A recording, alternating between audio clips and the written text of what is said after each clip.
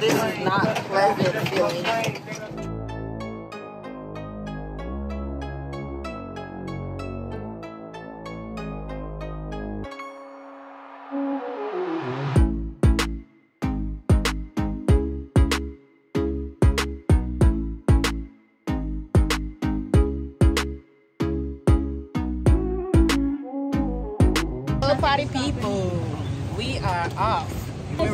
On another adventure. Guess who's on the boat today? It's me. It's me. He's getting some first experiences No, already. I went under a bridge. Our first time under, I'm under a bridge. Opening up her world. We just went under that. She's used to driving over it. Yeah. Never going under it. Ever. Cruises are out. Princess Cruises. Uh, plan for today is to hit the wreck trek, perhaps get on a shipwreck, and then hit a reef. Just saying hi, because we're about to get it on. I'll see you under there.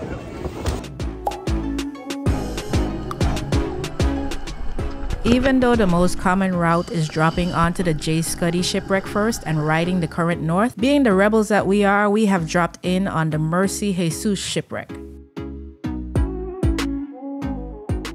As you can see, it is covered in a rich variety of marine life, including grunts, angelfish, parrotfish, and so on.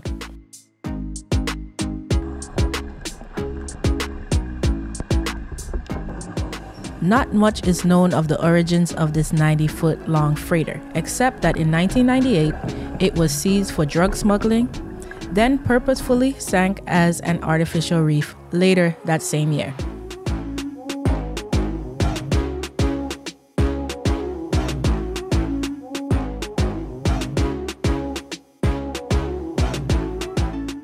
The hull offers a few penetration opportunities, such as the open cargo holes.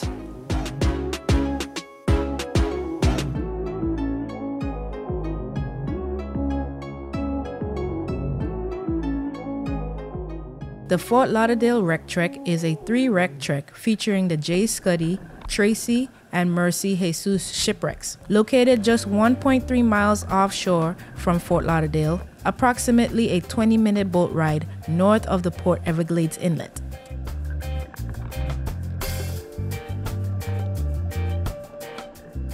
This is a very popular diving attraction due to its shallower depth and the proximity of the wrecks to one another. These wrecks were sank with about 200 feet of sand between them. When the currents are favorable, you can dive all three wrecks on one tank. Rebar stakes have been placed in the sand to assist with navigation between the wrecks. Still within sight of the first shipwreck, let's follow the stakes to the next one in line.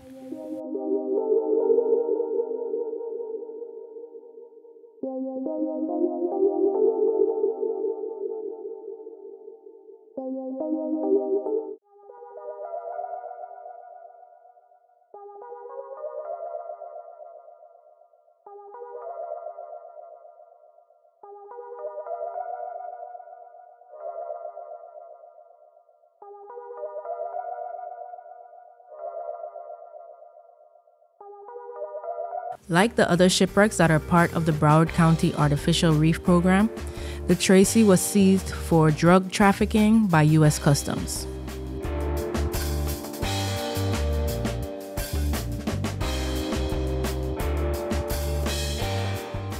On March 2, 1999, this 131 foot freighter was sunk just about 200 feet north of the Jay Scutti and 200 feet south of the Mercy Jesus, completing the famous Fort Lauderdale wreck trek.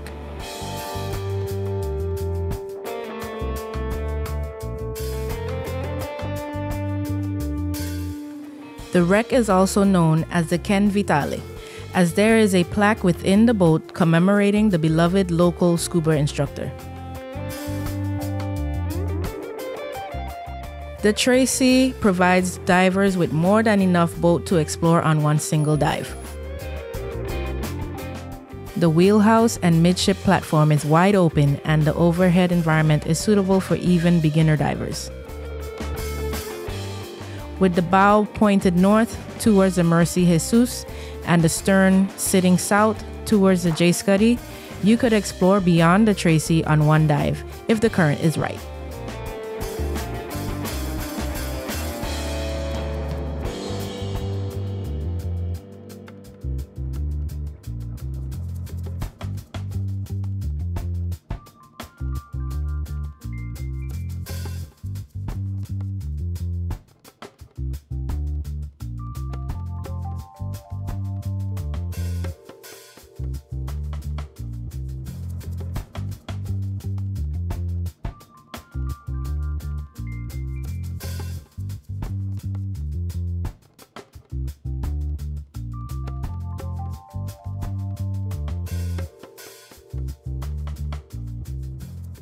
The rebars guide us from the Tracey to the southernmost portion of the Fort Lauderdale wreck trek. But first, I spot a mangrove snapper under the wreck. This is a difficult angle and I don't want to get my shaft jammed into the wreck.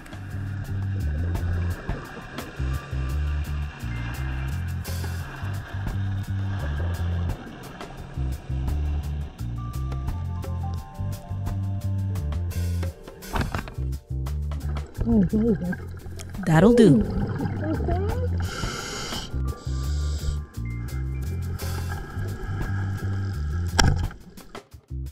Back to the trail.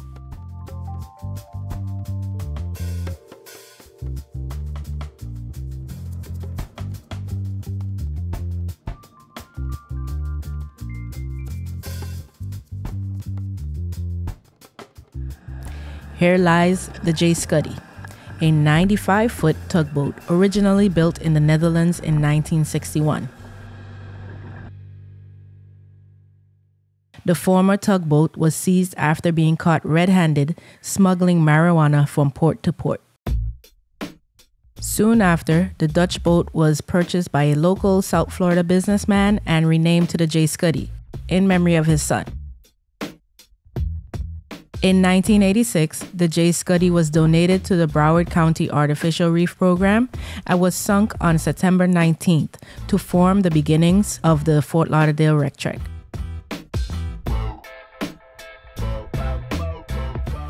The 95 foot vessel sits upright in the sand, approximately 70 feet below the surface. The Jay Scutti, Tracey, and Mercy Jesus shipwrecks all have their own unique history, but if you haven't noticed yet, they all have one thing in common. Each vessel was busted and seized due to drug trafficking.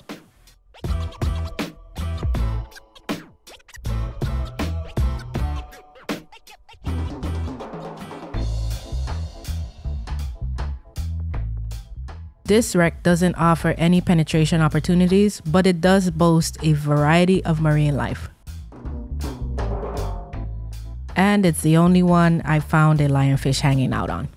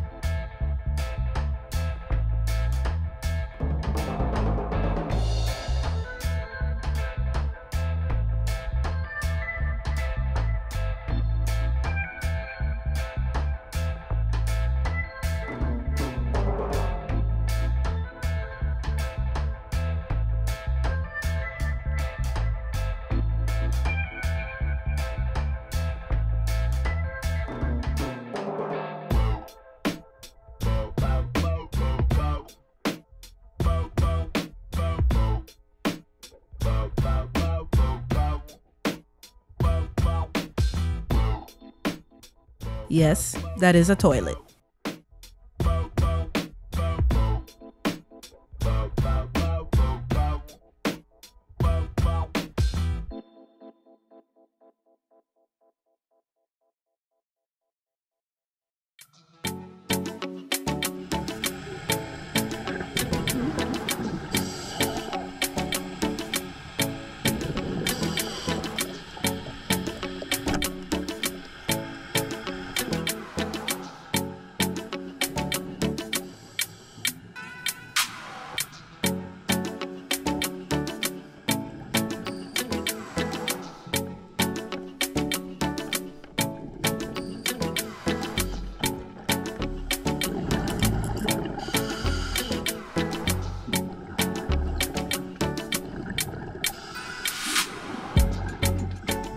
Looks like JP found some lobster.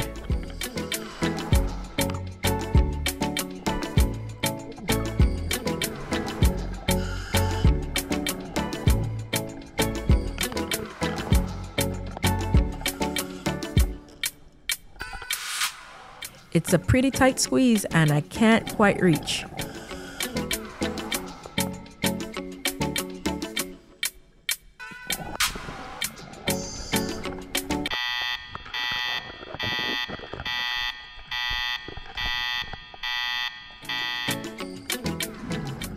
I'm aborting mission.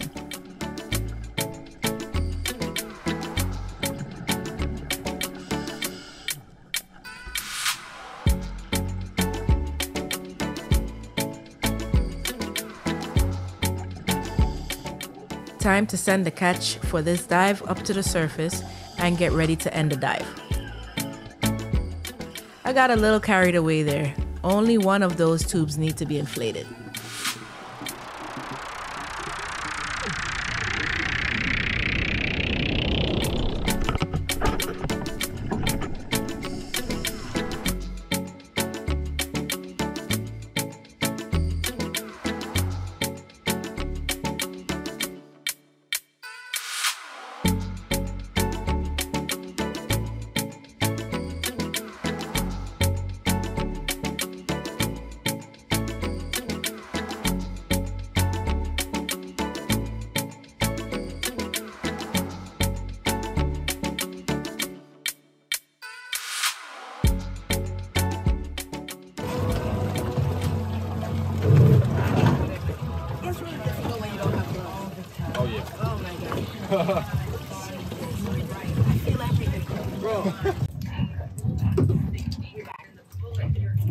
Welcome.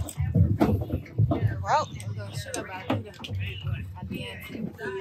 was trying to get back down to I was trying to get back down to him. Caught a glimpse of me and he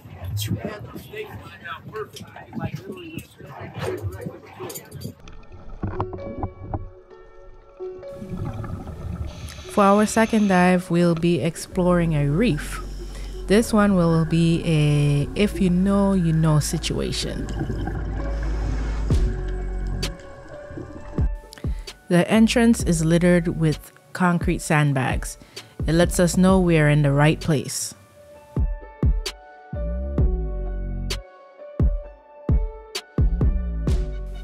JP spots a lionfish.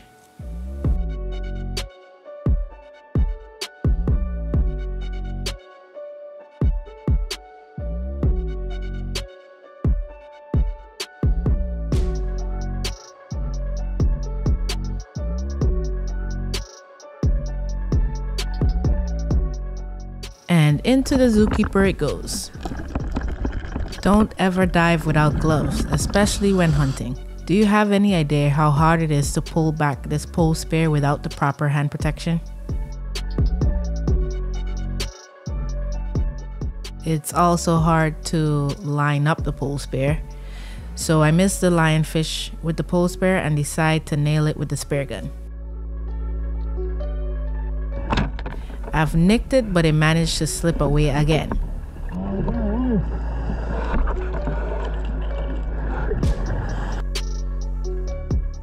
JP recovers the lionfish and into the zookeeper it goes.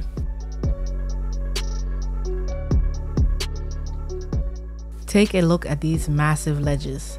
Broken reef with cliffs make good cover for marine life and is prime territory for lionfish. I am truly enjoying this location. Here go two more lionfish. Lionfish is a great fish to target. They have no natural predators in these waters and are truly unfazed by my presence. I have enough time to grab one and place it into the zookeeper while the other awaits a similar fate.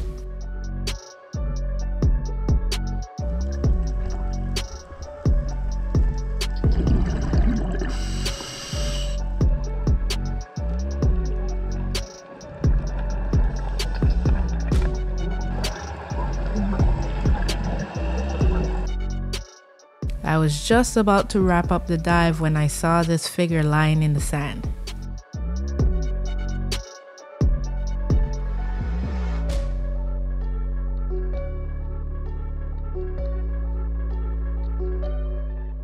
Unfortunately for me, Grouper was out of season during the filming of this video.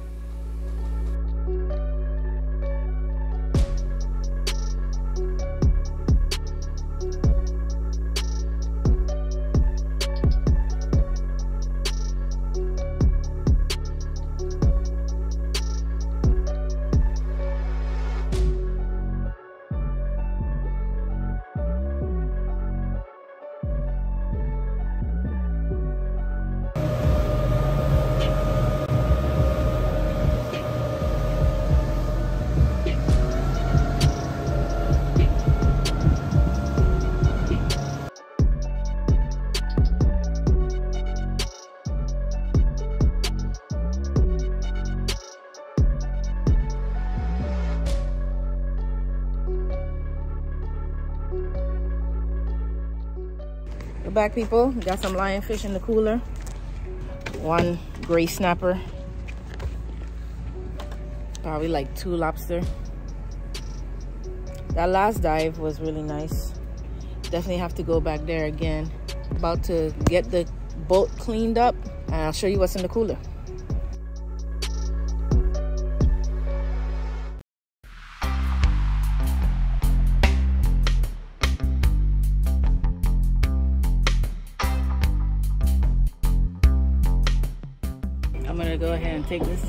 This